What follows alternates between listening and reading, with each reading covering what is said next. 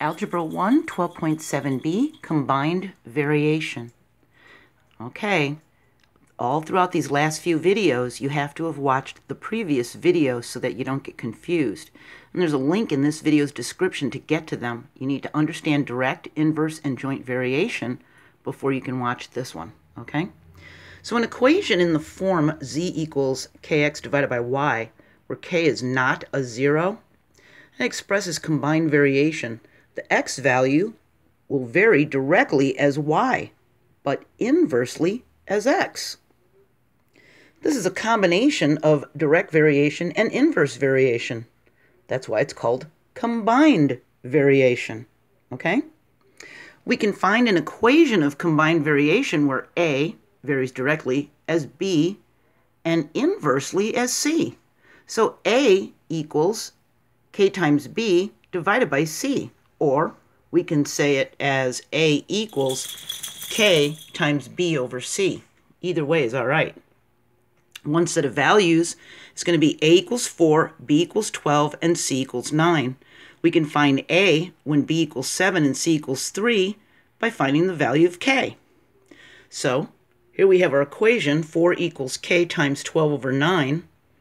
That's for this first set of values. And when we multiply both sides by the reciprocal of 12 over 9 as 9 twelfths on each side, this becomes a 1, doesn't it? 12 times 9 over 9 times 12 cancels out as a 1, and we end up with just k on this side, see? And on this side, we get 36 over 12, which is a 3. So now we know the value of k is a 3. We can use that to solve for a for our second set of values for a when b is 7 and c is 3 plug those into the equation, and we get a equals 3 times 7 over 3. That means a equals 21 over 3, so a equals 7. See? I was using direct and inverse variation. All right? This one's going to be a little bit more fun, and you're going to be able to do this to yourself. Body mass index, its BMI, is used by doctors to determine a person's fatness or thinness a BMI from 19 to 25 is good. That's considered healthy. And BMI varies directly as a person's weight in pounds and varies inversely as the square of the person's height in inches. So a person who weighs 118 pounds and is 64 inches tall is going to have a BMI of 20. We round it to the nearest whole number. We don't use decimals. But what is the BMI of a person who weighs 165 pounds and is 70 inches tall? So we're going to use this information to help us solve this one. We'll find the constant. So B is going to be the BMI. Our K, of course, is going to be the constant of variation. The W is the weight and the H is the height. And remember, the height has to be squared, okay? So we've got B equals K times W divided by H squared. So using this information, we've got a BMI of 20 equals k times 118 divided by 64 squared. Now, you're probably going to use a calculator because this gets pretty big with the values, okay? That means that we can, if we have this, we can multiply both sides of the equation by the inverse of this one. And that'll make this entire thing here equal a 1, won't it? We end up with just k is equal to this math. It's 20 times 64 squared over 118. 20 times 64 squared divided by 118 ends up being 20 times 4,096. That's what 64 times 64 is, divided by 118. We multiply these two together and we get 81,920 divided by 118. Use our calculator and we end up with a long decimal, but we round it off to 694. So we're going to use 694 as the approximation for K. Now we can solve this 165 pound person that's 70 inches tall.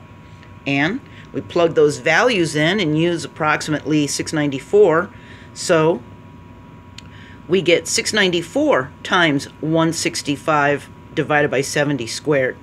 Use our calculator again, and we multiply 694 by 165, and we get 114,510. and 70 times 70 is 4900.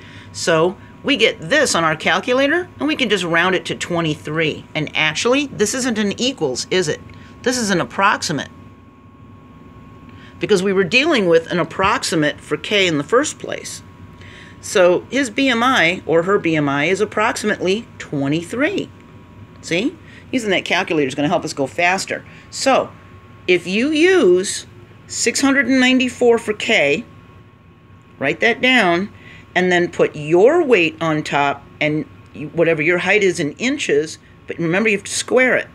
So if you're uh, five feet tall, that's 60 inches. So if you're five foot two, you're 62 inches, and so on. And then you'd have to do that times it to itself, okay? Like the 70 inches times 70 inches became 4,900, okay? So try this with your own weight. Use 694 as your approximation for K. Put your weight in, square your height, do the division in the math, and see what your BMI is. If it's 25 or under, then you're healthy. Okay? It's a pretty neat way of uh, checking this out on your own. So, we've only got one more video, 12.7c, and we start chapter 13.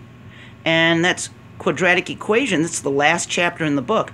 And of course, in this video's description, there's going to be a link to all the previous videos of chapter 12 to help you out.